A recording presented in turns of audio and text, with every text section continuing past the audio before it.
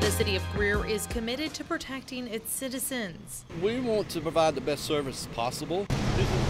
Greer Fire Department Battalion Chief Chuck McConnell says quarterly training like the one that happened on Wednesday is crucial to their mission. You got to continually train. Things change.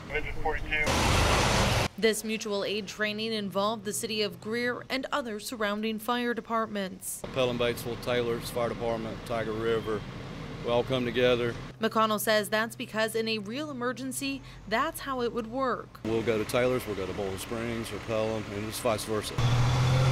Firefighters ran through this scenario several times and in different orders to make sure the process went smoothly. A commercial structure, it was on fire. First unit arrived, they're pulling a large diameter hose to go fight fire.